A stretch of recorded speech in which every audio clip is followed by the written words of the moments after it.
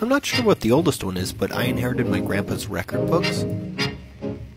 These are all 10 inch 78 RPM records from the 40s, so probably something around there.